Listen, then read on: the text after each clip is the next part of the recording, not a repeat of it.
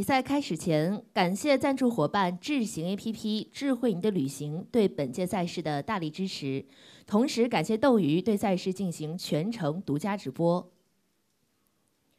这里是国际华语辩论邀请赛初赛 F 组第二场的比赛现场，我是本场主席黄一文，在此代表主办方欢迎各位光临。首先有请双方辩手入席。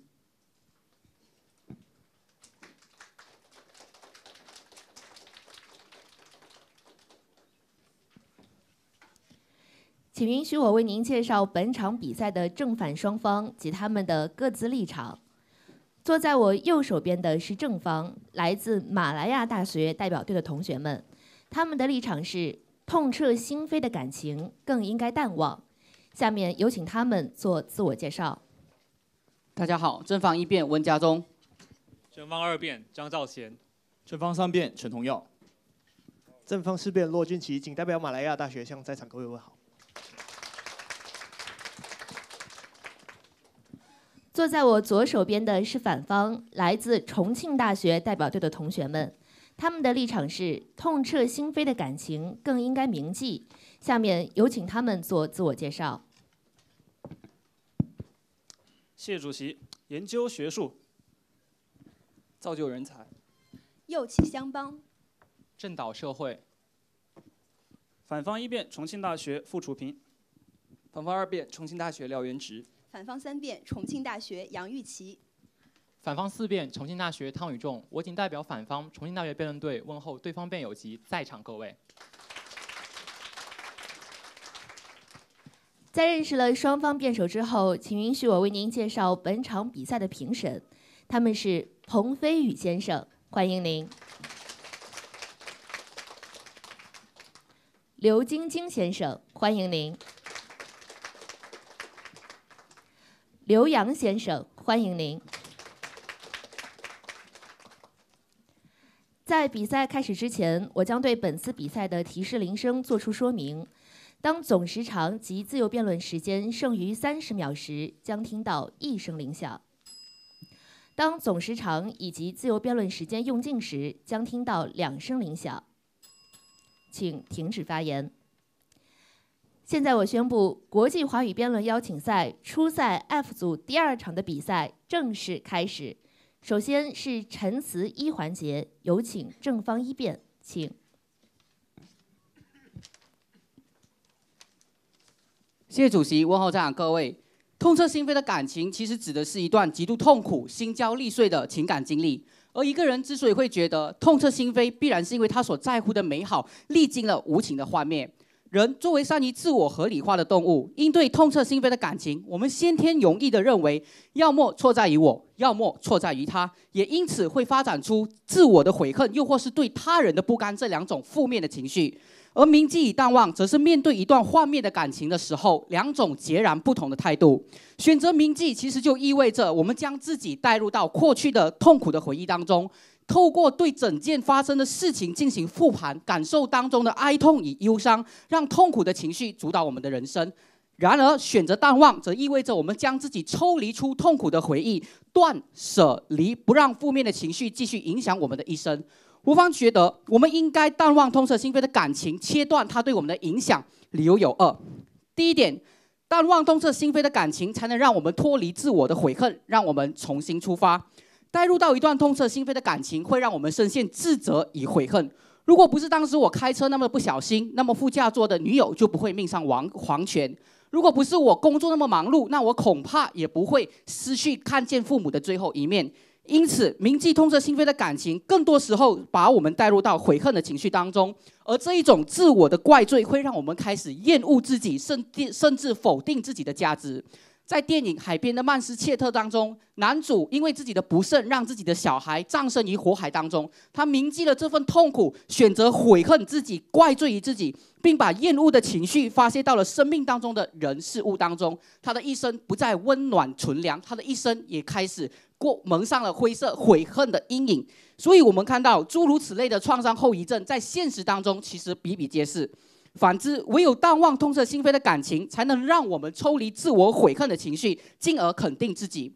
认知心理学所教导我们的，其实就是要我们学会断舍离。首先理解错不在于我们自己，再把回忆与创伤一并打包丢掉，进而让自己抽离出负面的回忆，展开一段新的生活。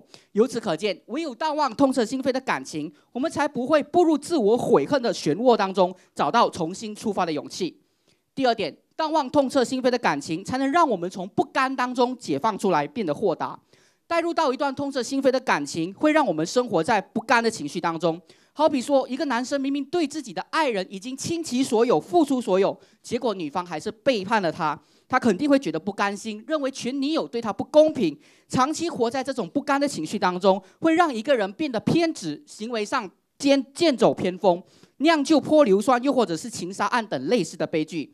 也因此，唯有淡忘痛彻心扉的感情，我们才能够让自己抽离出负面的情绪，让自己建立不甘感，接受人生的无常，变得豁达。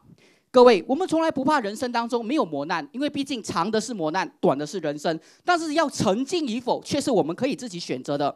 吴方觉得，我们应该学习断舍离，不被过去的负面情绪所捆绑，不让自己的悔恨与不甘被把自己给吞噬。因为人不应该活在过去，而是应该活在当下和未来。以上，谢谢大家。感谢正方一辩，有请反方四辩对正方一辩进行质询一环节，请。好，对对方辩友你好哈，你的立论的第一点告诉我说，呃，今天淡忘一定比铭记更有利于走出痛苦，是吗？不对，我们说是你你你，如果你选择淡忘痛彻心扉的感情，那么你就不会那么容易的陷入到悔恨当中。就你方觉得悔恨，你方举出的那些例子，都是因为他选择了铭记，所以遭招致的后果，对吧？可以说是他选择带入了感情。好的，对方辩友，我选择淡忘，在最后我发现我连淡忘都做不到，这种挫败感是不是一种增加的伤害？那是你淡忘的方式不对。铭记也有可能铭记的不对，所以我们是双方建立在都对的基础上去讨论，我方淡忘得到，您方也铭记得到的基础上。呃，对方没有，我方先看您方说说不对的这个部分了，所以您方也看到它有可能增加变成二次伤害。那您方讲的那些极端的例子，到底是我淡忘而不得的二次伤害所导致的呢，还是因为我铭记不当导致的呢？呃，对方同学，你铭记一段痛彻心扉的感情，实则把自己带入到很极度悲的情绪当中，你这就必然导致二度伤害，没有负面的原因。对方辩友。我方讲的是，这两者都有可能导致您方的极度伤害。您方是怎么划分的？只有铭记才会导导致所谓的极二度伤害跟极度负面的情绪。对方辩友挫败感，就是伤上加伤嘛。这个点我觉得打得很清楚了。我方继续往下问，你觉得负面的不讨论，是因为你方觉得只有？淡忘可以带来正面情绪是吗？负面的手法不讨论，可是如果它的本质，比如说痛彻心扉的本质就是负面的，那我们就应该去讨论。呃，对方没有本质的定义，待会我们再再说。但我们至少发现了您方没有划分，所以请您回答一下刚才问什么？不，请您回回答一下我刚才的问题。今天我铭记是不是一定没有办法走出伤害？在您方看来，是你越铭记就是越带入到那个当时的氛围当中。对方没有，我方有一个针对农村，就是那个失去父母的，就失去父母的人，他走出伤痛的研究，指出丧葬活动，就这种丧葬的祭祀活动，把我原先的祭奠方式换成新的方式，有利更有利于他走出伤害。这是不是一种缓解痛苦的方法？是换成淡忘的方式吗？你方这个例子没有讲得太清楚。我方的例子很明确了，定期的丧葬活动，这些在您方看来也属于淡忘吗？丧葬的那一刻，你就陷入了带入了当时的感情。你之所以现在过得好，是因为你在不丧葬的时候，你选择抽离当时的悲愤情绪。对方没有，我方告诉你的事情就是这种定期的纪念活动，包括我就比如说我失恋的痛苦，我写回忆录，类似这些，换成其他的方式也可以有助于他换成什么方式？您方也要跟我们。我方刚才举证了两举证了两个丧葬和回忆录。那我这样问你好了，杨绛有一本书叫《我们仨》，讲的是她的逝去的丈夫和她的女儿的故事。在你方看来，这本回忆录就是她越发悔恨，您方负面。的体现吗？对方同学，您方该不会是想说，只要我一次性的回忆过一件事情，这就叫铭记吧？所以我方听懂了，对方只是定义铭记一定是停留在伤害当中承受，淡忘才可以走出。至于两者的正负都没有讨论。您方有一个认知心理学的例子，告诉我自我悔恨的回忆和创伤不应该回忆。您方知道，不单是您方上一场比赛的行为主义，连现在的人本主义的心理学学派也主张在回忆当中让他接纳之前所有的过往吗？那一刻的想起是服务于后来我要忘记的目的。如果你是觉得要铭记伤痛，不对，干嘛要用认知心理学来淡忘伤痛呢？对方辩友，打断您一下，我方讲的人本主义跟您方的认知的就是最大的差别，就在于它是。不否认你之前伤痛的错误，它只是告诉你这些东西你都有能力可以承受。通过让你能够承受和接纳来接纳，这是不是也是一种心理学疗法？这是不是铭记？我不清楚。但是倘若您方觉得这是铭记，那往后你是要忘记呢，还是一直记得？最后一个问题，最最后一组问题啊，您方最后一点告诉我叫不甘心，不甘心是不是希望有所得？对我有预期。好好的，我收获了一段值得铭记的感情，是不是所得？收获了一段值得铭记的感情，是不是所得是所得？对，所以我们更应该告诉大家，这段感情值得铭记，才能更好的解除掉我失恋的不甘心。谢谢大家。好，谢谢。感谢双方辩手。在本轮环节结束之后，正方时间所剩十三分三十三秒，反方时间所剩十四分二十八秒。下面有请反方一辩进行陈词一环节，请。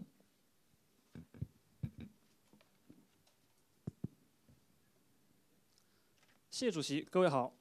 痛彻心扉及痛苦摧毁了心扉，是人在进行感情付出后，因世界的无限性与个人的有限性落差，其求不得的结果超过了人的心理预期，因而产生沉重而深刻的情感体验，可以产生于亲情、爱情、友情、家国情等诸多方面。淡忘就是主动减少甚至断绝与那感情事件的联系，不看、不念、不想。铭记则是主动增加同那段感情事件的联系，尝试建立新的连结，如回忆录、祭祀仪式等等。判断选择淡忘还是铭记，即是判断何种选择对于我们的人生更有价值。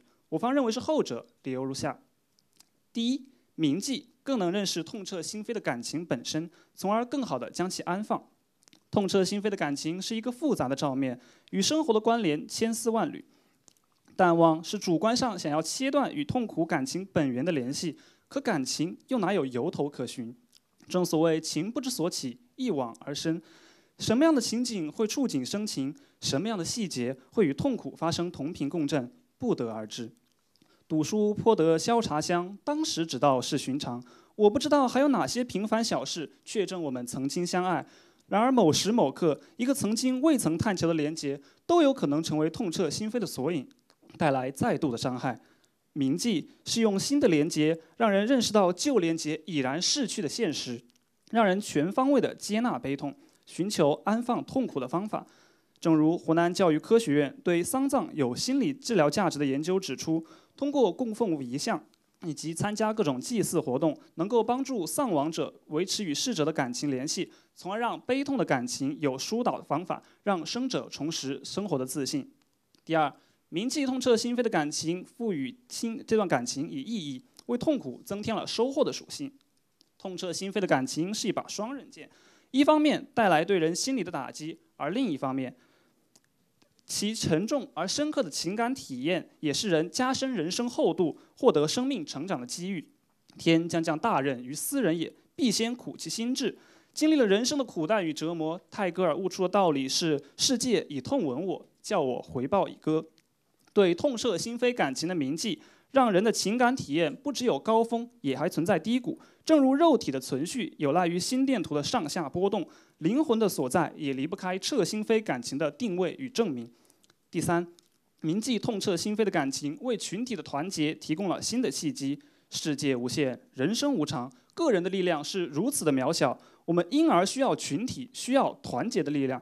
铭记痛彻心扉的感情，传递共同的情感体验。在想象的共同体下，人与人团结一致，砥砺前行。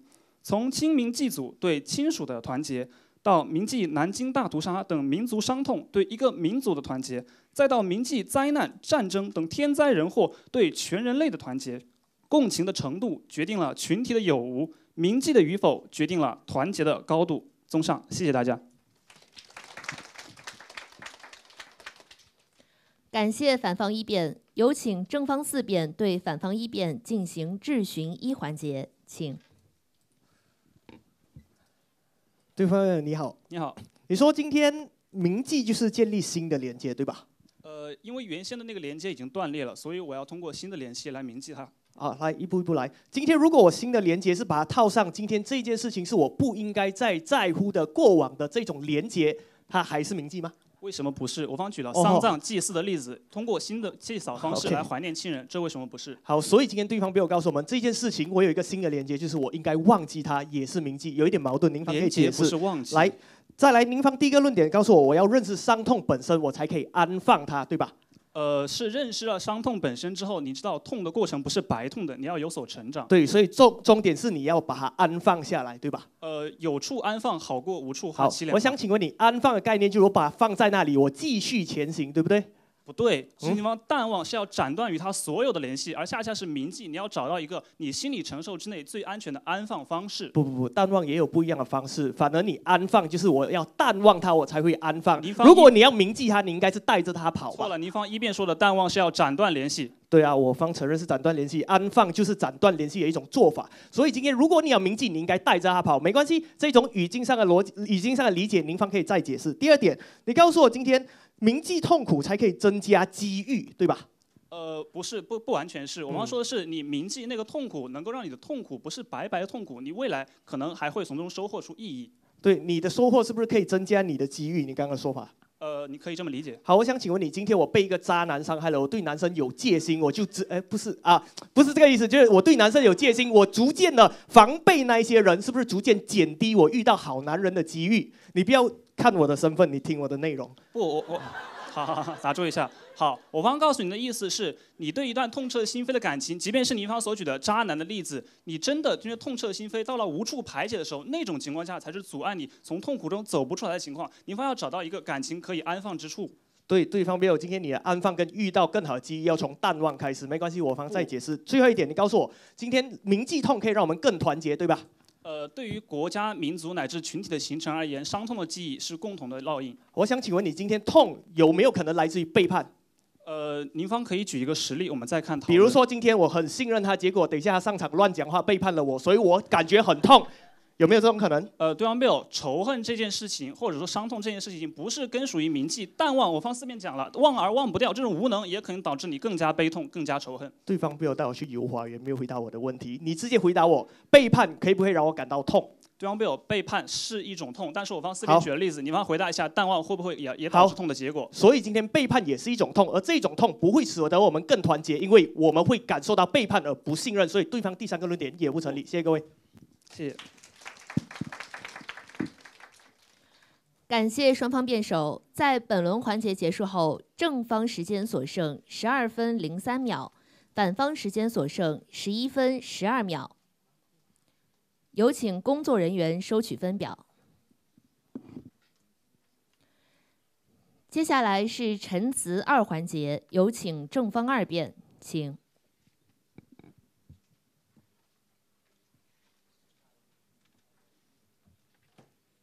谢谢。对方首先攻击我反而说，如果你忘想要淡忘，但忘不掉，那不是很痛苦吗？可是我们今天讨论的应该是建立在双方都做得到的前提。你有你铭记得到，我淡忘得到，才做进行讨论嘛。如果你告诉我你读书，你想要考好成绩，那你没有读呢？你可以跑去玩游戏呢？玩游戏根本就跟读书无关嘛。你要在那个东西做得到的前提底下，才讨论它的好跟坏，才是我们今天的比较基准。往下我们看一看。其实我们讨论的铭记跟淡忘是怎样的状况？我方告诉大家，淡忘本身是要告诉你是要要抽离当当光的状况，你要抽离掉怎么样子？你忘掉当时候的身份，你忘掉当时候的场景，你忘掉当时候你的那个感那种深受，所以你医治你会一种渐离感。而铭记是什么意思？铭记就是你要带入这样的场景，因此你会记得当时候的痛，你会感同身受，你回想过去的时候，你可能会痛哭流泪，这是铭记跟淡忘的方式。所以我们说，我们是把伤。把痛安放在过去，自己走开向前走。所以您方是应该说，那安放是我方告诉大家，我方才是安放的方式。回头来看看您方的点，您方想告诉大家是什么？您方谈来谈去，无辜无非就是像是什么种族大屠杀，又或是像是呃亲人逝世。可是你不敢谈爱情，为什么？为什么？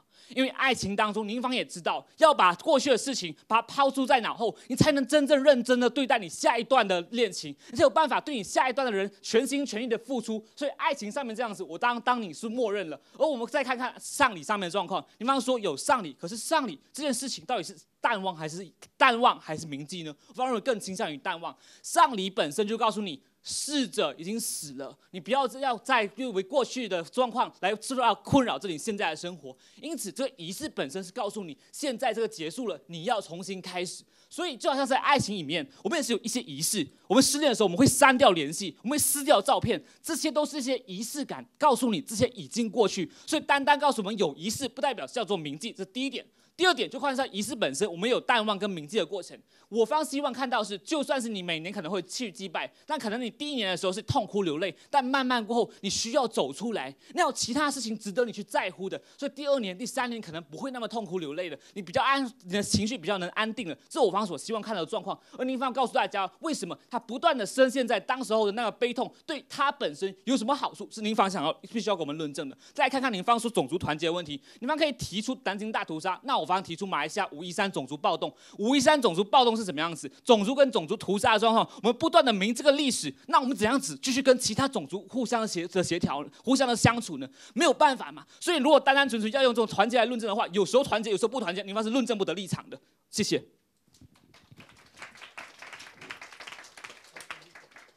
感谢正方二辩，有请反方三辩对正方二辩进行质询二环节，请。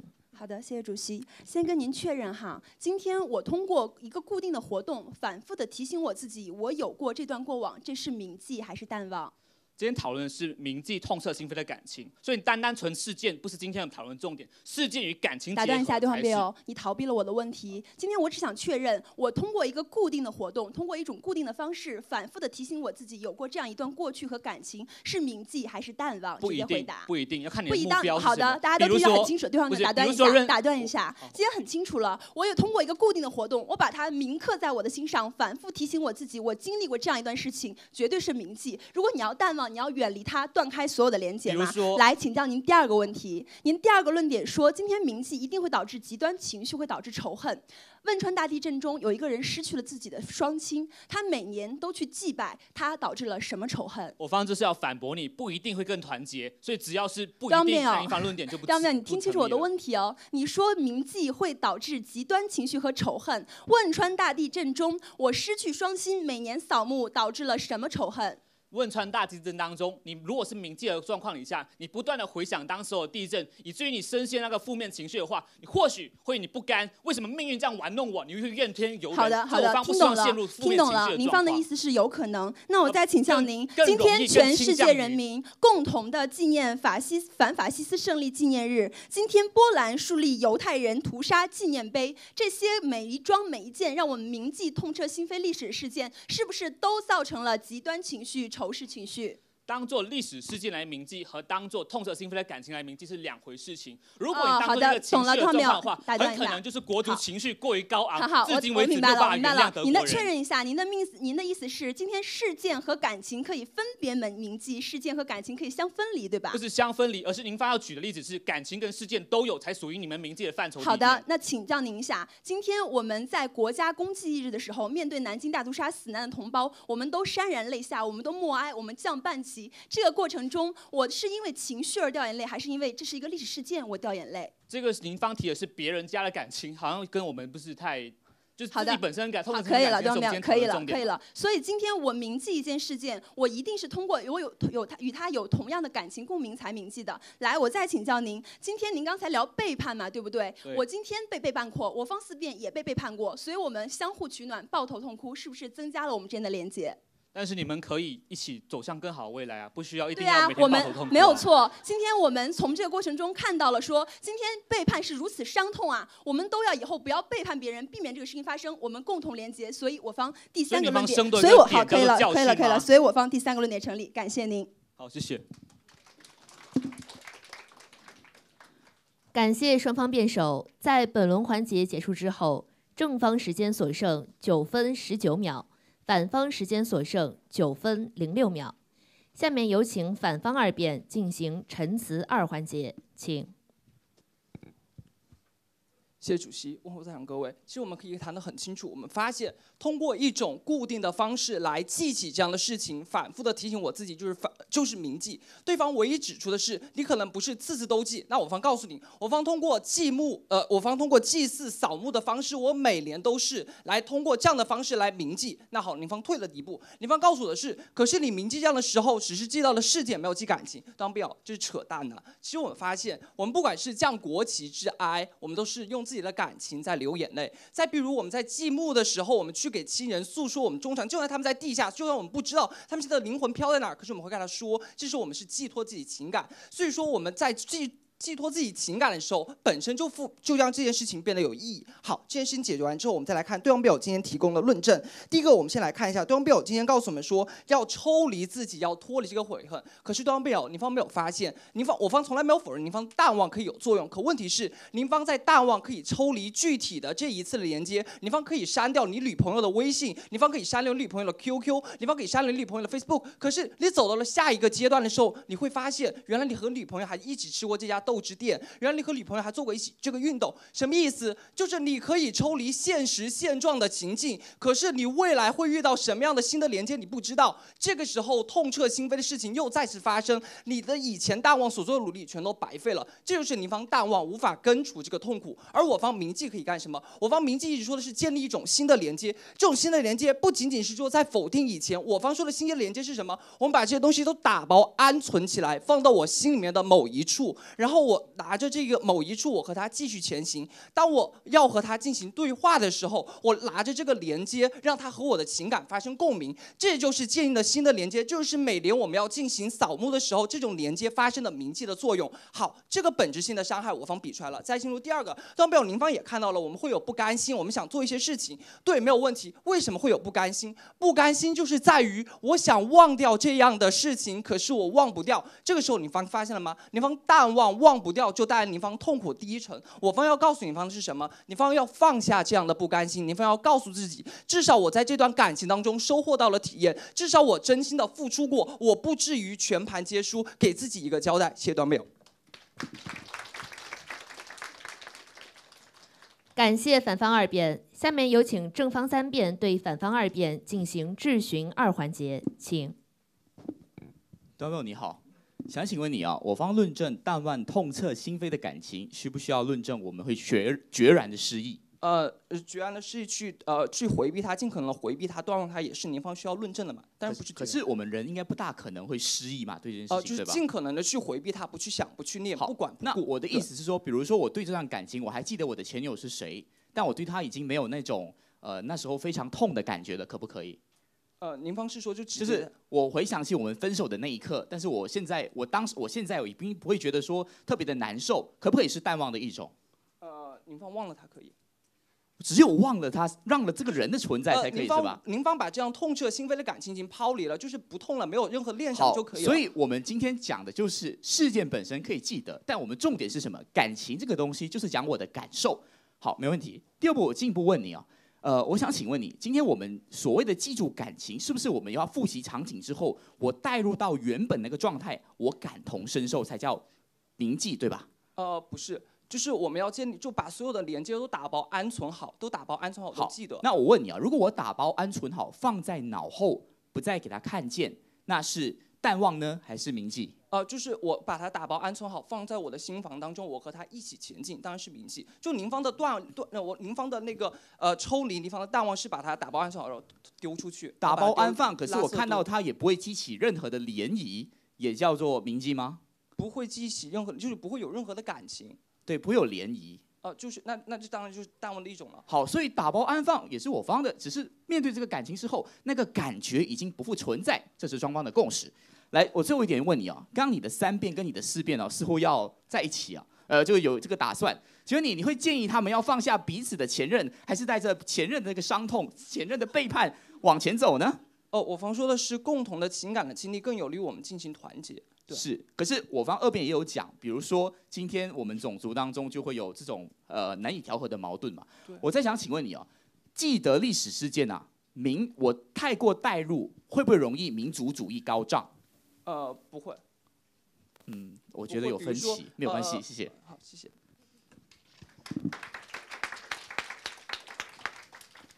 感谢双方辩手。在本轮环节结束之后，正方时间所剩七分四十九秒，反方时间所剩六分四十一秒。有请工作人员收取分表。接下来进行质询小结环节，有请反方三辩，请。好的，谢谢主席。今天如果我们只看片面的话，就像对方辩友觉得今天我们呃。我们铭记痛彻心扉的感情，就一定是深陷其中，就会导致一个错误的结论。就像我明明有一个长跑了五年的男朋友，对方辩友却硬要把我跟我方四辩拉郎配一样。那么，所以说对方辩友今天在定义上面犯的错误是什么呢？对方辩友今天说，我们铭记一个事件，我们尽量建立多的联系。我可能通过纪念日，可能通过写日记，为他出本书，尽量多的让他在我的生活中反复的出现。而这样在您方看来，还叫做我要淡忘这件事情？不好意思，听起来有点像受虐倾向，不是淡忘。他反复的在你的生活中出现，你输一次比赛，你通过复盘它，你通过记录它，你通过给队员讲授它，来进来进行那什么这个东西，它绝对不是淡忘，而是让它反复的铭记。那么接下来对方辩友逻辑上面出现两个问题，他首先说今天铭记一定会导致极端的情绪，可是我铭记我的父母去世了，我铭记今天国家的攻呃国家的南京大屠杀，我铭记今天我的双亲于某次灾难中意外离世，这些东西到底导致了我的什么什什么极端情绪呢？似乎是没有的，所以您方今天只是凭猜测，从来。没有正面的论述过这个逻辑谬误，我方已经给您指明白了。那么第三个、第二个问题，对方辩友今天一直讲说，呃，它会导致你有一个很严重的问题，就是呃，对方辩友指责我说，我方对他的指责来自于想忘不能忘。不，对方辩友，我方是让你仔细看一下。今天你说我输了一场比赛，我要淡忘它。可是你回去了，你的教练会问你，你为什么输了那场比赛？你的队员会问你，同学，我们要不要复盘一下？你的朋友会问你，输那场比赛你没关系吧？他在你不知道这份感情与你的。生活有多少度连多少处连接点？你只看到了现在的连接点。你说我现在就要忘了它，我什么都不看了。可是你怎么知道接下来哪一分哪一秒你会被别人反复的提起呢？那在提起那一下你痛不痛呢？那这个痛是不是二次伤害呢？所以今天您方觉得只有铭记会带来痛，这是不对的。今天淡忘本身也可能带来痛，就是因为情不知所起，一往情深。你不知道这份感情跟你的生活到底有多少处连接点，而只有你正视着你这段感情，你真正的分析它，你才可能说，我今天我我也作为。辩手都输过一场痛彻心扉的比赛，我在北京输过，我正视了他，所以今天跟队友提起来的时候，我可以说我们复盘他，我们想想当时为什么错。今天跟我一起输比赛的队友就在我身边，我可以跟他说，今天我们一起要上场赢场比赛，而不是因为输了一场比赛凄凄惨惨切切。所以林芳觉得今天不能从里，今天林芳觉得痛苦一定不能承受，一定不能从里面学习到经验的原因到底是什么呢？天将降大任于斯人也，必先苦其心志。如果苦痛一定不能被承担，一定不能。从中分析、去总结经验，一定不能学习，那就不会有无数伟人从苦痛中成长的事例，不是吗？所以今天我输一场痛彻心扉的比赛，我从那一刻走出来了，我永远铭记着我跟这个学长一起输比赛的痛苦。但是今天我站在这里，告诉你，所有的过往皆是序章。感谢各位，感谢反方辩手，有请正方三辩进行质询小结环节，请。好的，谢主席，大家好。回忆一下我刚刚的盘问环节啊，其实对方辩友也赞同说，所谓的安放，所谓的我放置在一个部分当中，一个定位，不等同于是一个铭记的过程。因为重点是什么？是我看回这段回忆我安放的包裹之后，我对它会不会激起涟漪？换而言之，我们今天双方讨论的主体是什么？主体是感情，不是事件。我可以记得我前友是谁，他家的号码可能不记得号码，但是我记得是谁，不不至于失忆。失忆不是我们要讨论的，但是我对他已经毫无涟漪。而毫无涟漪源自于哪里？我不再带入感情这个东西很妙，跟事件不一样，不是你客观复习就可以的。我们要记得一个感情是怎么样，是我要记录那个场景、那个细节，那个细节跟那个情绪紧绑在一起，我仿佛身临其境之后，我会感触到我当时候所有的情绪。您方讲输比赛，您方可以呃输比赛，您方可以看得很坦然。但我问你啊，如果当时对方是下戏要让你输比赛呢？当时候，如果你可以记得这个细节，你可以记得说他如何的不公平，那种不公平感就会油然而生。所以我方告诉各位什么？今天你带入到那个具体的细节跟回忆当中，你就很容易进入那段感情，而且你会从那个事，对不起，进入那个事件，并且从那个事件当中提取出你当时的心理状态，你就会忘不掉。从中我们发现说，其实我方认为说，您方所谓带来的成长价值或意义，在一个带入到自己到痛苦回忆当中的人是看不到的。为什么？因为那样的人他深陷情绪当中，他其实已经不由自主了。我们什么时候真正能够发现教训跟回忆呢？比如说我们刚失恋的时候，我们总是认为怨天尤人，但什么时候我们发现成长的价值，恰好是在淡忘之后若干年之后，我发现其实蛮有意义的。为什么？因为情绪抽离了。那国家层面是不是这样子的呢？也是嘛。我们说南京大屠杀还是抗日战争，我们最忌讳的是什么？忌讳的是我们带入那个仔细的细节，我们想起日本人当时的日本如何残杀我们的中华民族的同胞，我们会感到很心疼。但是我们很害怕是什么？一旦带入之后，我们可能会变成民族情绪高涨而失去失控的行为。它不必然，但很容易。所以因此，是我方根本反对所谓带入的这种成效，因为它就在于它的不可控。所以发现了没有？其实所谓对方没有的教训跟代价，我方认为说，如果你没有办法好好的主导它，你没有抽离出来，你是看不到客观的意义的。因为客观的意义与价值不可以有情绪的主导，一旦有情绪，你就看不到全面，你得出的结论就有可能是偏颇，会有偏差。再进一步讲，其实我们今天谈了太多历史的事件，我们谈谈感情这件事情。感情这件事情，老实讲，看两件事情：第一看脸，第二看缘分。感情哪里有一模一样的事情，对不对？每一个人你遇见的都是不一样的烟火。我跟我前任女朋友可能是因为我太黏，小鸟依人太多分手的，但我下一任女朋友可能就希望我小鸟依人嘛，对不对？每一段感情都是不一样的教训跟经验的时候，我方在这里呼吁大家是什么？不要抱着过去你自己得出的成见去过你下一段的人生。真正好的活法是什么？在感情方面当中没有对错，就要把每一次的恋情当做初恋来对待，才是真正最好的恋爱方式啊！谢谢。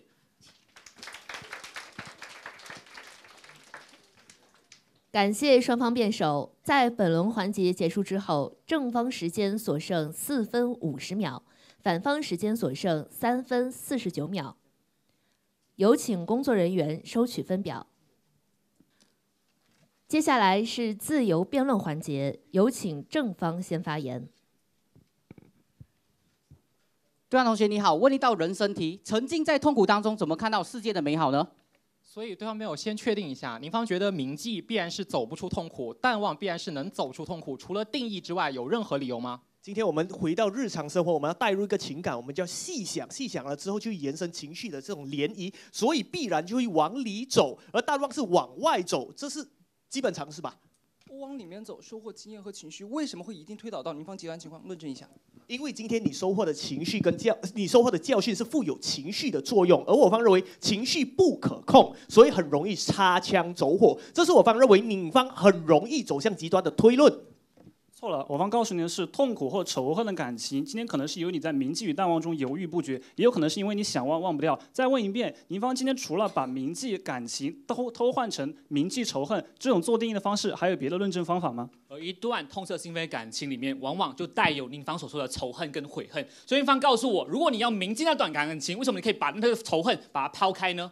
好的，所以您方的论证是铭记有可能导致，然后你方直接说必然走不出。那我刚刚也举证了淡忘也有可能导致二次伤害，为什么淡忘一定等同于走出？您方的论证是？您方的论证是淡忘做不到，所以才会有二次的伤害。可是我方论证的是铭记，你放任感情侵蚀你的生活当中，你就会有这种结果。两者的区别，您方看到了吗？对方没有澄清一下哈，我方没有质疑你方淡忘任何一个连接做不到，而是因为你不知道你跟这段感情到底都有多少连接，所以你淡忘的每一件就算都能做到，还是有可能受伤。回答一下，二次伤害为什么一定不可能？除了定义之外，还有其他理由吗？不不不，如果我真的做得到淡忘，我遇到以前跟女友的那些连接，我就不会有痛感，我也不会有负面情绪。所以我是做得到走出伤痛的，不要用连结就企图栽赃我方。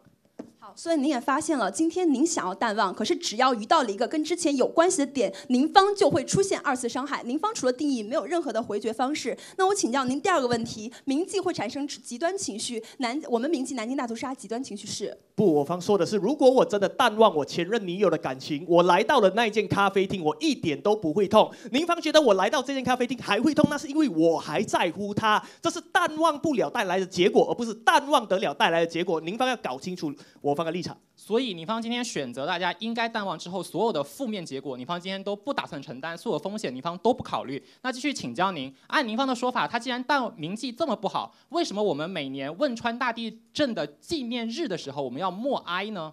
所以我们是铭记什么？铭记事件，但感情尽量不要抽离。您方会不会赞同我们民族情绪要过度高涨呢？对方对方没有过度高涨的情况，是靠理性来规避，怎么引导？但它存在是必要的。您方今天说适合情分离，那您方没有回答我方问题，为什么要默哀？对方没有回答的好，我们需要用理性来控制民族情绪高涨。可是您方是要带入那一个情感当中，你怎么确保你一定能够控制？所以事和情不能分离，您方没办法完成论证嘛？那再请教您，铭记一定是坏的，杨绛为什么通过写书的方式铭记与他过世亲人的感情？铭记不一定是坏的，铭记负面的情绪，比如说这个呃痛彻心扉的感情，它就是坏的。比如说您方说汶川大地震的地址和呃的的例子，很多人回想的时候是感受到剧烈的摇晃之后，他就会开始怕躲在一。桌子下面哭，这也是一种铭记啊！您方告诉我，带入到这个感情有什么好处？对方朋友，当然都有各种铭记和淡忘的形式。我方讲的很清楚了，不用做定义，不会当然的导出一方。回答之前的问题，你方说是记事不记情，为什么要默哀？问您三遍了。呃，对方朋友，我们这样子比较吧，我们所谓的淡忘就越来越抽离，铭记是越来越深入。请问你，你要理性的控制这段感情，究竟是站在一个比较相对第三方的视角，还是带入到那个第一人称比较容易？对方朋友。我纪念日类似我回忆录这种方式，为什么不能理性的控制？所以默哀的问题问了您三遍，您方都没有回答，是不是证明今天我对于汶川大地就类似这种经验教训，我的感情一直铭记，对我也有价值？来，事不过三，我跟你回答一下，默哀这个东西，所以我们劝你的是默哀完了之后，我们要忘记。朋友，我们走吧。所以今天为什么我要告诉他要走？因为我不要他默哀到太久，因为他会陷入负面情绪。所以今天我们告诉你的是，那一个情绪是一个度。今天默哀这个东西，为什么我们一年只做一次？因为我们相信我们不能往宁方走，我们要走过来这里。这就是你我之间的差别吧？那为什么每年都要有一次？对方朋友，每年都要一次，就是我们要记得这个事件，但不代表我要带入回应您方所回忆的历史。老实讲，大家要记，大家记不记得有一个人叫房思琪，也是写了一段自己明痛彻心扉感情过出现的问题，结果怎么样？结果就失控，结果自杀了。所以您方发现了没有？你铭记跟带入很容易陷入那种情绪。我不是说必然，但容易的时候就有侵蚀性，有侵蚀性，为什么您方要允许？对方没有，我方已经说了，两者都可能导致。你通过您方的例子不能导致它到底是通过哪一者所造成的。所以每年都一次，且每一次都默哀，是为了抛离感情。我们告诉你了，默哀可以是你要逐渐淡忘的一种仪式。你没有告诉我它必然是铭记。所以在这样一些状况里面，我们已经告诉您，在铭记过后有这么多的风险。您方告诉我，必然铭记的理由是什么？张表每年都铭记，我这一辈子每年参与，每年默哀，每年掉眼泪，这叫淡忘。大家听得很清楚了。那请教您，铭记是坏的，杨绛为什么写我们仨铭记我的他跟逝去亲人的感情？如果更明应该铭记，那您方的立场是不是想告诉我们，我们要天天都默哀呢？不会是这个样子吧？对，所以我方立场不是天天都默哀，而是我们需要默哀，这就是我们铭记痛彻心扉感情的方式嘛。所以我方就前面就讲，我方不是失忆嘛。您方说我方记得一年记一次都行，那我方不是完全忘掉，怎么可能？对不对？您方推有推有极端呐。对，您方不是失忆，但您方至少要论证，您方要尽量避免去默哀，去掉眼泪。所以我一年只默哀一次，不是尽量避免掉眼泪吗？对，所以您方发现我换了这种铭记的方式，也可以更好的让我应对这个情绪。这个点我方已经讲得很清楚了。最后来结结一下，您方今天讲解决不甘心情绪的这个问题。我今天已经得不到这个感情了，我还要说这段感情对我来说不值得铭记，它没有意义，会不会让我更不甘心？不会，因为我看开了一点就不一点都不会不甘心，反而是你不断的在这个情绪中打滚才会不甘心。来，你谈到不甘心，我我从这种不愉快、不甘心的情绪抽离，是不是可以让我更好的面对我所爱的人？对方没有，我确认我自己输的一无所有，和我告诉自己我至少得到了一份值得铭记的感情，到底哪个更让我不甘心？一个是陷入在负面情绪当中，一个是出来从第三者来看，哪一个更容易吸取教训、找到教训？又在打包论证，说他一定是负面的。可是我刚方方刚才已经跟你讲清楚了，第二遍问题，至少我还有一段可以铭记的感情，这个东西能不能抚慰我的不甘心？我方的问题就是，如果你铭记痛彻心扉，你看到的只有痛，只有负面，你怎么会跳出视角认为，哎，其实这段感情不错哦？怎么来的？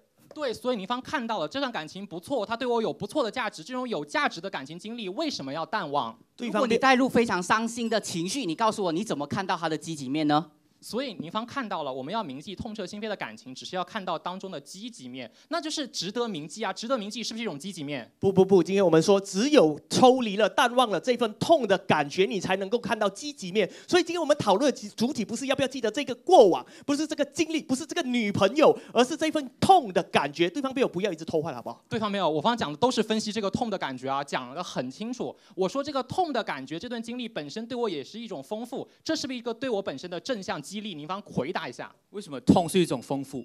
因为痛让我懂得以后能够在携这种痛之后共共同前行，所以是一种丰富人生经历。您方要提炼这个价值，也要等到你情绪平复之后。我们刚输比赛，如果去复盘，肯定复盘不出任何价值。只有等了两天之后，情绪平复才能够得到真正的价值嘛。对啊，没有，我告诉你，痛是怎么安放的。我痛，我觉得我很痛苦，我什么都得不到，所以我跟自己说，这份痛好歹让我有成长，这份痛好歹有对我有经历，这是不是对不甘心更好的弥补？谢谢，因为我们剩一秒。所以对方辩友今天说痛苦一定不能带来好处，可是我今天从痛苦中分析我们如何成长。我们都输过比赛，输比赛之后我们也要反头回思，从里面拿到了什么东西。所以痛不能带来成长这个论点，你也没有办法完成论证。感谢的各位。再次感谢双方辩手，有请工作人员收取分表。最后进行总结陈词环节，有请反方四辩，请。谢谢主席，大家好。在我方看呢，这场比赛对方的说法稍微有一点无聊，因为他方今天呢完全的论证就基于他方对于一个定义的归纳。虽然他方用了很多渲染的方法，基本上就是开篇告诉我，所谓铭记呢，就是我们能走出痛彻心扉的感情。所以呢，哦，就就是走不出淡忘呢，就是我们能走出痛彻心扉的感情。我方举出了一系列的例子，我方可以认可啊。铭记有走不出的情况，但我方也举出了很多其他的铭记方法，诸如我们今天讲的丧葬仪式，诸如我们今天讲的回忆录，甚至包括今天我们类似于就定期地震的时候这种默哀的活动。我方认为这些转换铭记方法，建立新的连接，都是一种用铭记的方式来走出的方式。对方没有说咬着牙说这些不是，这些都叫淡忘。那我紧接着我方也举出了淡忘也会产生其他的后果，就是因为我淡忘当前所有的情绪，但是因为其他的情绪会突然刺激到我，我发现我连淡忘都做不到。这种发现做不到的挫败感，伤上加伤，是不是也是您方会带来要规避的弊端呢？对方辩友说不对，因为这不符合我方的定义。淡忘就是能走出来。我方觉得，如果停留在这一步的讨论，完全没有意义。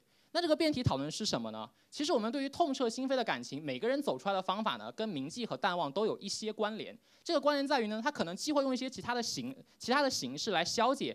呃，来总结这这一段感情，他可能也会跟之前的行为有一些变化。所以我方觉得，在这个战场上，就您方今天通篇立论这个定义的战场上，充其量是个辩题对于辩手的要求。我方今天想跟你讨论的东西是什么？是痛彻心扉的感情这件事本身到底有没有意义？到底有没有价值？到底值不值得我们去铭记？我方觉得这才是这个辩题要讨论的价值。而我方今天告诉你，这件事有没有意义呢？其实不一定。就像您方举出的很多，比如说那个我生活当中我被一个渣男伤害了，我后一段感情怎么办？这些经历真的对我有益吗？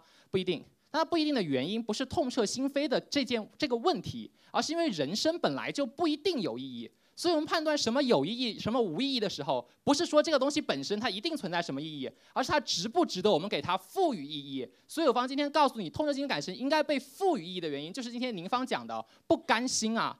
痛彻心扉感情最大的问题是痛吗？不，但凡能选择铭记和遗忘的人，他至少在痛的那个当下，他都能承受。那更大的伤害是什么？是不甘心。我付出了这么多，我投入了最后这么多，最后我什么回报都没有，我感受到不甘心，我无法安放，因而疼痛。您方今天的方法就是一个只有世界观没有方法论的方式，告诉我，我像佛陀一样看开一切就可以。但我作为一个平凡人，作为一个任何生活中的平凡人，对我来说，唯一能看开和疏解的方式就是。即便分手，即便承受伤害，我可以体面的度过这一段感情。我可以告诉自己，这些经历对我来说都是必要，它都是有价值的。在这些有价值的背后，它都能够促进我的成长。在我给它赋予值得铭记的意义之后，我才能够更好放下这些不甘心。而在这个视角下，我们发现痛彻心扉的感情有没有可以提炼出意义的部分呢？有啊，我的情感体验，我的生命历程，在我我自己看到自己的人生的高峰和波谷，我认识到自己会被什么东西所伤，我认识到自己爱什么东西，这一系列基于此。基于我需要意义的视角下看到的东西，为什么都不能成为意义？所以我方今天告诉你，痛彻心扉的感情本身应当被铭记，它最大的意义就是它本身值得铭记，我需要它来完成。最后解决一下您方讲的，就是群体的团结。您方也举了很多的攻击，在不同群体之间，它确实无法促进团结。但是我们需要群体，但就像呃，就像您方说的，民族主义高涨是不是一件坏坏事？它有可能是，但不妨碍我们需要民族的存在，我们需要团体的存在。而未来的事情和现实的利弊可以衡量我们不做出过激的行为，而过去已经发生的既定事实、过去的痛苦、过去的共同的情感经历，将我们团结在一起。所以我方今天来到这里，告诉大家，面对痛彻心扉的感情，我们最需要的是坚强。通过铭记的方式，看看到苦难本身都是我的成长，让自己坚强。通过跟其他团结的方式，让世界帮你坚强。谢谢大家。感谢反方辩手，有请正方四辩，请。谢谢主席，好。今天双方立场主要的差别就在于，他方不承认他方会沉浸在伤痛的负面情绪当中，可是对方的反驳是什么？我方今天告诉各位，铭记一段痛彻心扉的感情，你必然要投入身临其境的场场景当中，进而延伸出那种感受的体验。对方说不，有一种铭记的方法可以让我走出来，对，那个方法叫做我创建新的联系。可是对方没有，你所谓的创建创建新的连接是什么？祭点。把前女友的照片撕掉，这一些你所谓新的连接的本质是什么？在做告别。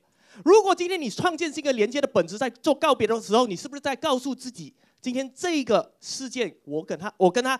丢掉旧的连接，创造新的连接，而这个连接的本质叫做告别的时候，就代表我在暗示自己要忘掉它，要放下它，所以宁方才可以达到宁方要的开怀，宁方才可以达到你要的豁达，因为你新的连接的本质就是淡忘于为基础的本质啊，这是我方认为今天宁方其实没有在论证宁方铭记可以带来带带你走出来的根本原因。再来往下讲，今天痛这种感觉，对方必要把它轻描淡写形容的很简单，可是痛这种感觉真的这么简单吗？痛这种感觉是极端的反噬情绪，它会让人感觉到仇恨，让你感觉到背叛，它会不可控。所以，当我们说今天当我们铭记一份痛的时候，我们很容易失去理智，我们没有办法客观的判断。所以，今天您方所谓的所有教训，在痛的这种基础上，根本没有办法得得出来。今天我面对背叛的伤痛的时候，我得出的教训是什么？我恨这个人。这个人跟我势不两立，这就是我唯一能得到的教训。可是什么时候我才可以正式的看到他，跟他微笑？就是当我逐渐把这种背叛的痛感抽离的时候，我看到他才不会觉得他面目可憎。所以今天教训这种东西要抽离主观的感受，我们才能更客观的判断。但这也不是重点。往下讲，今天对方被我分两块，第一块是历史的记忆，历史的事件我们要不要记得？我方告诉你要记得，可是我们尽量的要把主观的情绪抽离，因为当我们看到很多悲痛的历史事件，我们放太多主观情绪，我们容易擦枪走火。为什么很多纪录片、历史纪录片会成为禁片？因为我们怕。我们怕很多人看了之后深陷其中的时候，我们没有办法控制他们的情绪，导致很多冲突的产生。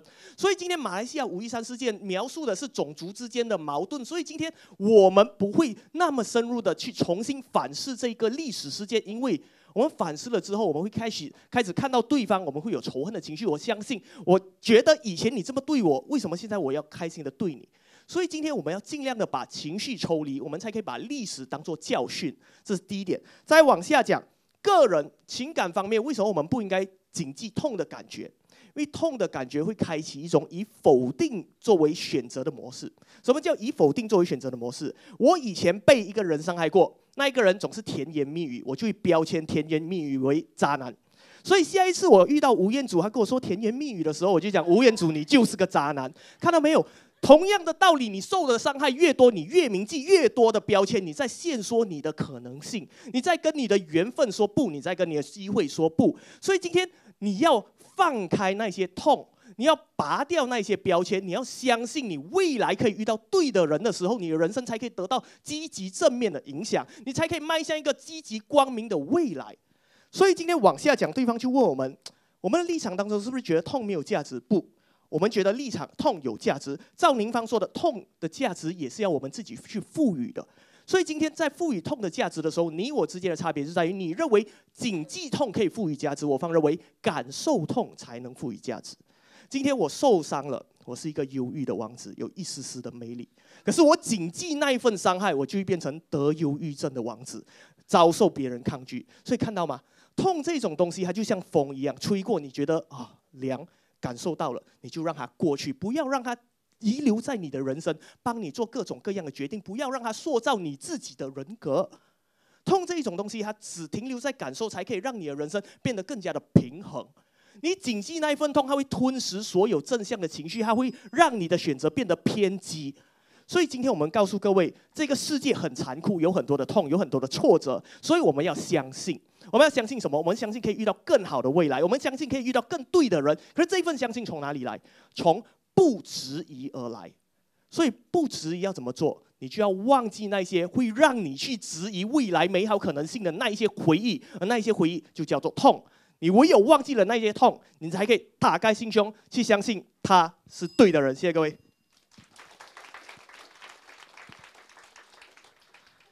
感谢正方辩手的总结陈词。至此，比赛环节已全部结束。有请评审填写并上交第一轮印象票。有请工作人员收取分表。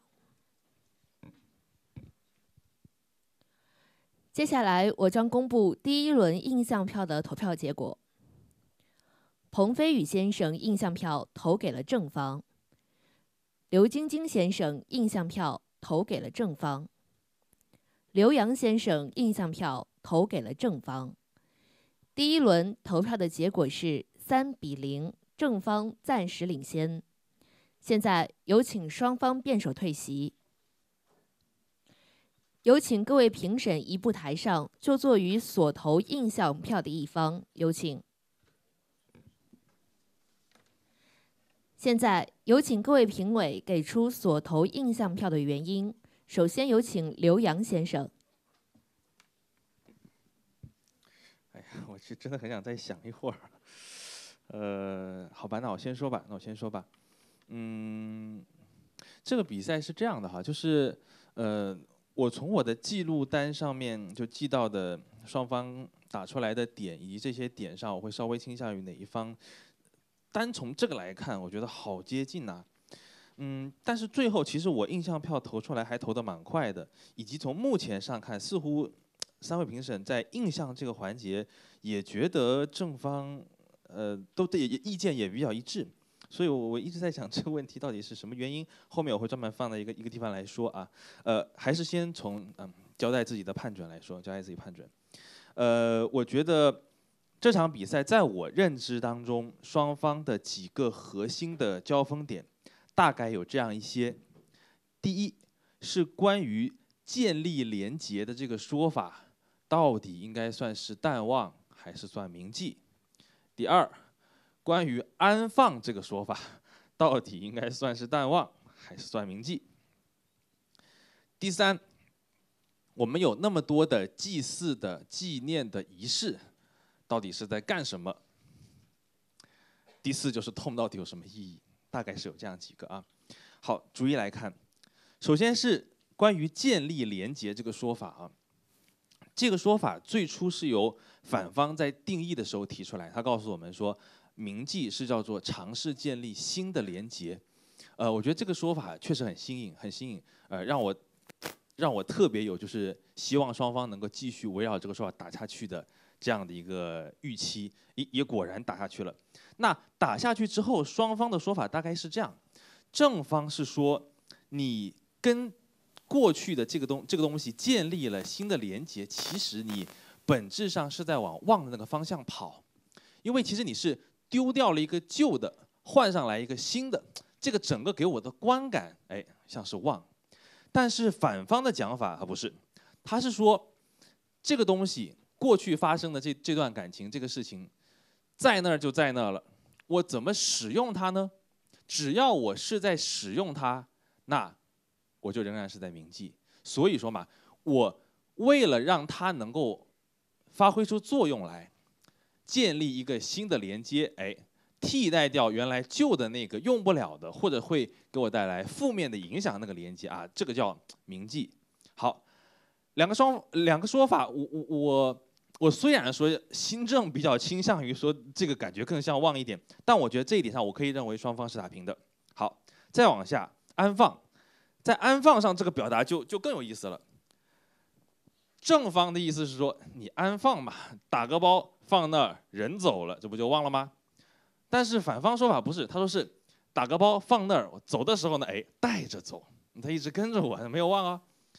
这个点上，坦白说，我的新政，我也比较觉得安放是更像是忘，因为你背着它到处走，这个这个叫放吗？你把它放在身上，这，嗯，但我仍然可以认为，关于安放的这个解释，双方能打平。我仍然认为能打平。好，再往下，仪式是为了什么？仪式是为了什么？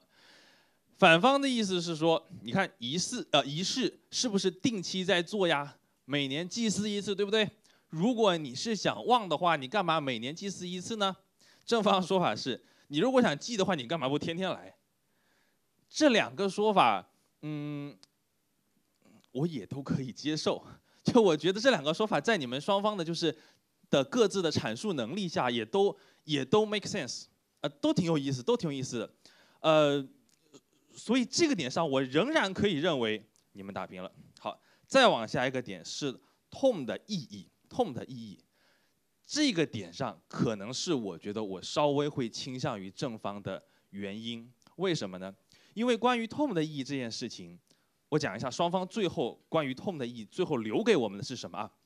正方关于痛的意义，它是这样来解读的，就是痛的这种感觉会给你造成一种否定的认知模式，会限缩你的可能。那么我们怎么对待它呢？你看题目不是说了吗？痛彻心扉的感情是记还是忘？好，忘记痛彻心扉的感情，但是是你可以记着，就是。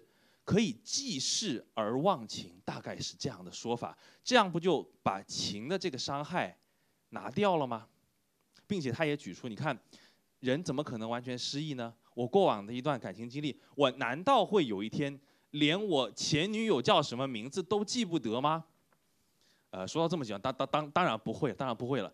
不过我我从客观的角度来讲哈，确实有可能到某一天就是。你和上你在上一段感情中的有一些事，你可能都不记得了啊，你只是不可能彻底忘得一干二净，就当这个人完全没有出现过呃，这个完全失忆，这个我觉得是没有可能啊。但好，但没事，这个你整个这个说法这样下来，痛带来否定，我们记事不记情，可以继续往前走，整个的这个，我觉得讲的比较圆了。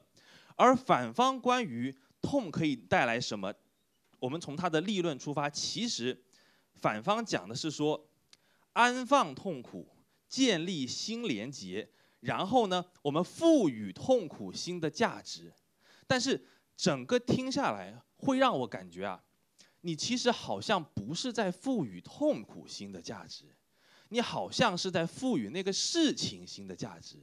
为什么呢？这可能是跟你第一点和第二点的表述方式略有一些关系。你看你在第一点说，我们为什么要有那些仪式？那些仪式让我们建立新的连结，来重新对待过往发生的那些事情。这个给我的一个感觉是什么？就是我建立新的连接，有点像是说这个事情我在用它的时候，不要再受那个痛的影响。你你总是会给我这感觉。虽然说你把它描述成说赋予痛新的意义，但是你所举的那些例子给我的感觉，却像是你不是在赋予痛新的意义。而像是在赋予那段过往新的意义，所以这就会造成你这两个点在说服我的时候，在互相的彼此削弱。所以，那反方还剩下什么呢？它剩下的一个点是叫关于痛能够带来我们这个群体的连接啊，我们形成个想象的共同体，带来团结。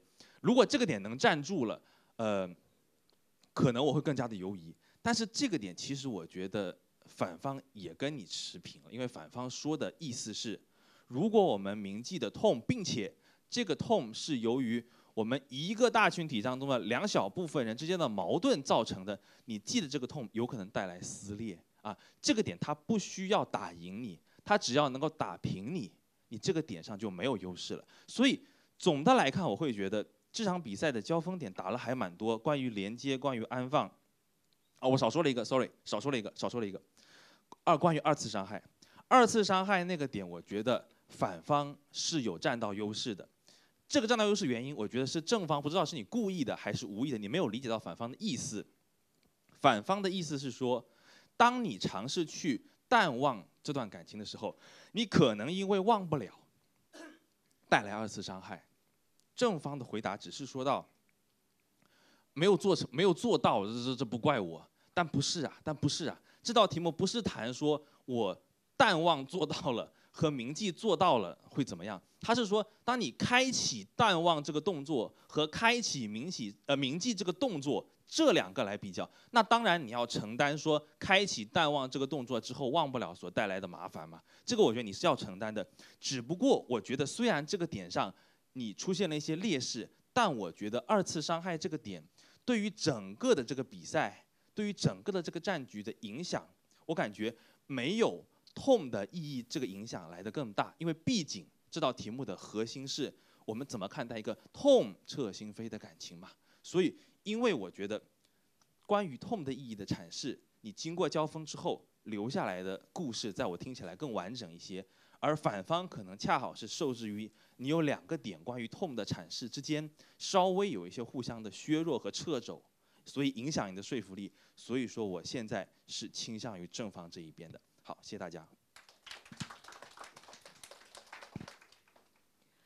感谢刘洋先生，下面有请彭飞宇先生，有请。嗯，这场还比上午的好一些啊。然后，呃，是这样，我觉得这，但是的确最后我判准来觉得哪一方投印象票，也并不是谁把谁打得很透了。我只能还是说双方会有争夺，但是最后还是有一些点在最后场上的情况是落在了谁那里，没有继续被进一步推进和争夺了。然后这样看下来的话，其实正方的得利会稍多一点，但其实这个得利很微弱，是因为我觉得正方有可能占到便宜的点，他也没有打得很强，但是有提的确有提到啊，嗯，几个主要的争议点，第一个，呃，关于这个刚才这个刘洋老师说的，这个东西打包了以后安放这个怎么回事？是带着走还是放下？我觉得双方争执以后，最后记得落在了这个正方这边。他说：“那你如果要开启一段新的感情，你是带着各自对前女友的、前男友的这种背负着，还是说放下，你们往前走呢？”我感觉最后的印象是到了这里，这个例子没有更多的推进了，所以给人的留下的印象的确是好像在感情，至少在爱情这个世界里，的确是应该放下以前的往前走。那这种打包以后的放下，可能更偏向于淡忘。那第二部分呢是。有这样一个，就是我一直觉得反方的立论啊，他其实翻译出来啊，甚至他有时候自己也说到这种感觉，就是为什么我们要重新建立连接呢？呃，首先我我不得不承认，这个建立连接这个提法非常好。听完立论的时候，我对反方，我觉得这个立论非常好，立论给的分的确是反方高，这个论很好哈。呃，但是后来的描述的感觉是这样的。大家体会一下是不是这个意思？为什么要建立新的连接呢？因为你想忘，可是你其实也很难做到，你忘不掉。不如咱们给它重新认识一下，搞一个新的连接算了。就是，就是意思就是说，如果你真能忘了，其实忘了也挺好。但是往往你忘不掉，你去个咖啡厅想起来他，你吃个什么东西想起来他。所以呀，不如咱们反正忘不掉嘛，甩不掉，不如我们学会和他相处，对吧？和他共处，然后怎么样去看到这个是。说得通的，好吧？虽然是有一点退而求其次的感觉，但是 OK 说得通。不如我们学会与他共处。但这个问题在后面的有一个环节被反方提出来了，我觉得虽然只是一句话，但我觉得蛮重要的。就他说，你去到那个咖啡店的时候，你会感到痛，是因为你没放下，真的淡忘了。你去了那个咖啡厅，是你不会感到痛的。所以这个问题就变成了，因为正方的一直在说感情的抽离嘛。如果你抽离了感情，那咖啡厅就是咖啡厅而已。你没有抽离感情，才会说咖啡厅变成了你的这个想起了前任的一些东西。那这个就变成了，你到底是因为铭记了会让你想起，还是因为反正你总会想起，所以不如我们铭记？是这个问题。反方其实在说的是，由于你的生活中你想斩断所有的这个淡忘，你是做不到的，总有些东西你斩不断，不小心就提醒了你。所以你不如换一种方法，他把铭记变成了我先记住，然后再处理嘛，换成另外一种方法嘛。但在反方呃在正方刚才的这一层攻击下，其实是可以从这个地方来，他的意思是说，如果我真的淡忘了，就根本不会有你说的那个总会想起哪里哪里老会提起忘不掉。所以一旦陷入这样的一个纠缠，我会觉得反方的这样一个点没有占到便宜了，而反方接下来没有对这一个点再进一步推进，所以我也觉得这个点。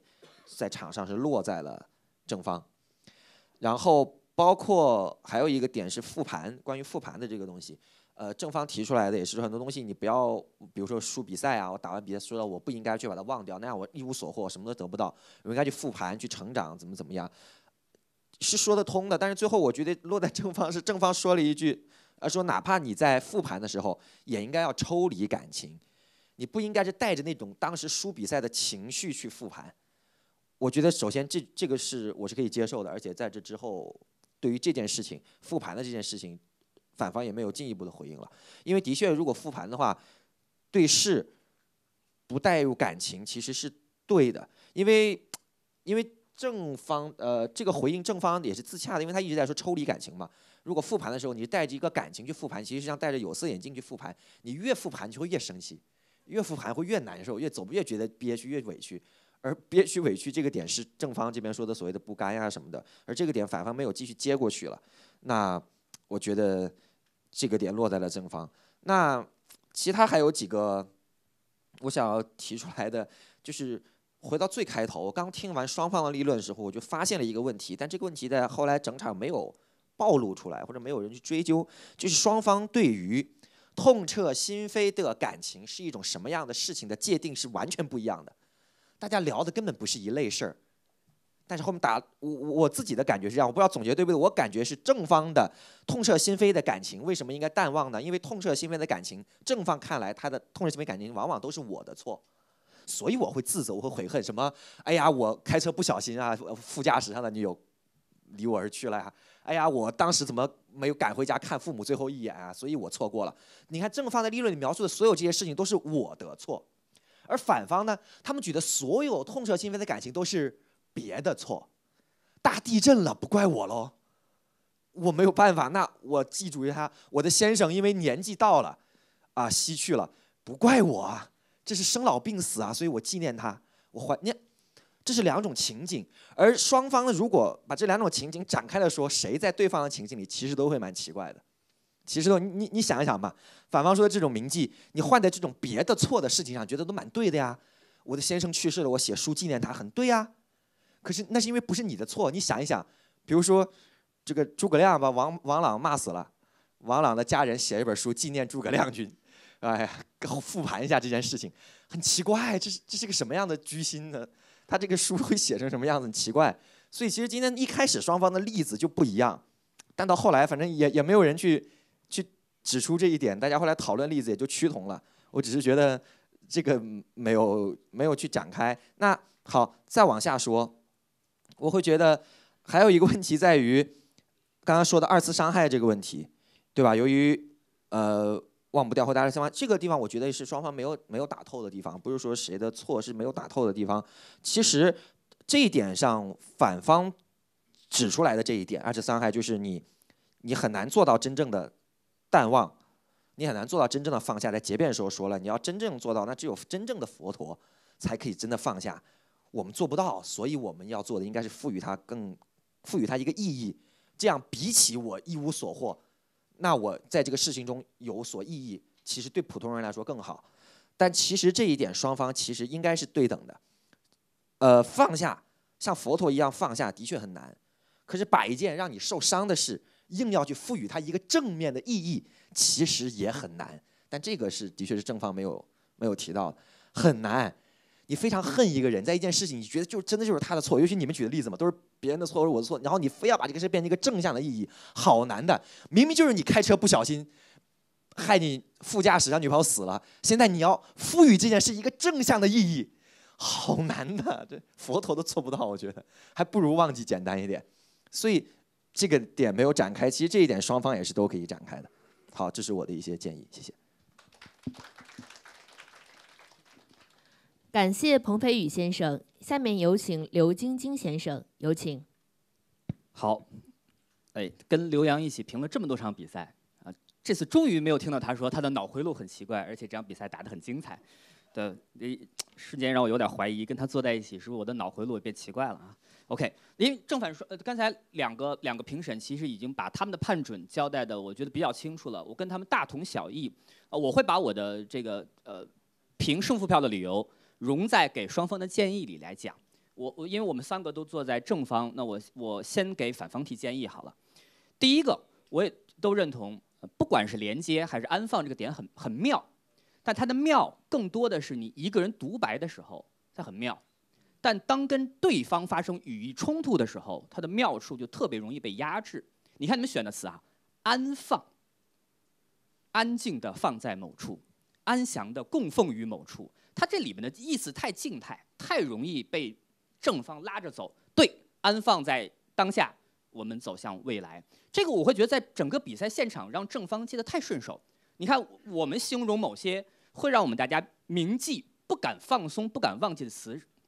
什么悬挂在头上的达摩克里斯之剑，你看，第一是剑，第二还要悬在头上，在高处，而且有紧张感。一般往往带这种语义的时候，会让我们产生那种铭记的感觉。但我会觉得这种选择啊很微妙，因为反方有可能是我既想让它有铭记，我又不想让它变得那么激烈，才能走出这段伤痛。所以你们用了“安放”两个字，但这两个字的选择真的有利有弊，这是语言本身使用的一一层哈。第二层是单语义之外，呃，也许当反方看到正方很容易把它借花献佛带着走。反方提出的一些场景，想体现你们这种安放，比如说丧葬、葬礼，每年去扫墓，这点我给双方提供视角。我不知道大家参加过多少回这个葬礼和扫墓的仪式。我自己观察到的，包括我听其他人讲的，中国人的很多葬礼仪式是很古怪的。我自己的观察很古怪，你说古怪到什么程度？今天上午可能去某个地方把骨灰安放好，安放好了之后，这家人一起出去大吃一顿。喝酒、吃肉、畅怀很开心，刚才还哭得很痛哭流涕的很多人，吃饭的时候笑得很开心。你会说他们没狼心狗肺？不是这样的，为什么？因为整个丧葬的过程当中，集中了我们所有人的精力、心血、情感，在那一瞬间凝结在那里。完成这个仪式之后，人有一种瞬间的放松。那你说这个过程究竟是铭记多一点，还是遗忘多一点？我觉得在这点上，双方其实有蛮多可以去争议和更深层探讨的部分。但这一部分，反方只是提出我们可以有一种仪式来做，正方马上根据他每年一次纪念日，那你说剩下那些天我并没有一直在纪念，所以从似乎从时间的量上，正方得出了一个很简单粗暴的推导。但这个推导完了之后，反方后续还有什么继续的跟进吗？我没有太听到反方怎么在。通过这种丧葬仪式呈现你们安放这个论点上有更深入的这样阐述和推进，就好像正方用了一种很简单粗暴的理由就把它拿下了。那这也是我为什么在这个论点上，我的确会认为反方选择的语境和你选择例子有点吃亏，这种吃亏的点被正方拿到。所以问给反方的建议就是，也许安放这两个字要选择。以如果你们真想打丧葬，我觉得你们需要对丧葬也罢，还是周年纪念日也罢，它究竟让我们铭记的是什么？我会觉得反方应该有更清晰的，可以在短兵相接的回合有更 有更鲜明能够跟对方对抗打法呈现出来，我觉得会更好。那这是给反方的第一个建议，给反方的第二个建议，其实跟刚才飞鱼讲的很像，就是大家也注意到今天整场比赛里面，正方用他们的那个铭记容易导致怨天尤人，我们把一切的罪责都归诸于自己身上，然后我们就很容易自怨自艾，陷入到负面情绪当中不能自拔，等等等等。但其实这个说法古怪的，为什么？社会心理学有个定律哈，呃，我我们人都很容易叫自我认同一致性，每个人都想认同我们自己，每个人是很棒的。那我们容易给现实做一些曲解，这个曲解往往是什么？这个事情越好，我越容易把它归功于我自己。我们这场我们四个人打辩论打得很好，为什么呢？一定是我发挥的很出色。但当这个事件结果不太好的时候，我们人类的本能会驱使我们。把罪责归罪于他人，对我们今天四个一起打比赛输了，嗯，哎，对，没没没，主办方有问题，评委请的不好，然后才是评委的问题，最后哎，然后是对方耍流氓做定义不地道，然后我方队友居然没有跟上我的思路，最无辜的一定就是自己，越痛彻心扉，越容易这样想。呃，当然你说有人有没有例外？有，真的有很有反思精神的是例外。但如果你诉诸于越普通的人的这样一种心理规律的话，如果你相信在大规模研究结果之下的一种普遍规律，那我我会觉得这一点反方是可以很针对性的问正方：那你们这个自你们这个负面情绪怨天尤人是真的吗？对，不一定。所以如果能够把这点真正深入下去的话，反倒能把语境掰回到反方那一边。对，反掰回到反方那边，太痛彻心扉了。有的时候，我们反而容易让他突然，哎，对，归罪于其他人，忘记自己在这段痛彻心扉的感情当中，自己做错了哪些事。而我们的铭记，恰恰是提醒自己，在面对一段新的感情或者以后类似情景当中的时候，不要重蹈覆辙。这才能连上反方最后所讲的你们自己的那个，我要赋予这段感情和这段经历一个价值的这个讲法。我觉得他才能真正衔接起来。但因为在这个战场上，正方自己那个怨天尤人，他们自己讲的太顺，又没有得到反方很冲力的挑战，所以在这点上，我也确实认为反方略吃一点亏。OK，这是给反方的第二个建议。然后给正方的建议是这样哈，就是刚才也有评委提到，就是关于二次伤害，我我觉得这本质上来讲，其实反方提出了给正方提出的问题是，选择遗忘，遗忘究竟是不是一件可行的事情，对吧？我觉得刚才正方的处理太过于简单粗暴，就你直接站起来讲，我们今天辩题既然是要要讨论，一定遗忘是可行的，我们才来讨论。嗯，不是啦，因为选择它只是一个你主观上你想走哪条路，但是的确按反方所讲，有很大的程度上我们容易触景生情，所以我会觉得刚才的处理方法上，因为正方太过于粗暴，但反方呢对正方的这种粗暴的，你说。反方有没有质疑？有一定的质疑，对，有一定质疑。只不过我也认同，刚才两位评委似乎都有共识，这个点正方处理的不好，但它不是一个有决定性意义的大点，所以我也这也是影响我投印象票给正方的一个原因。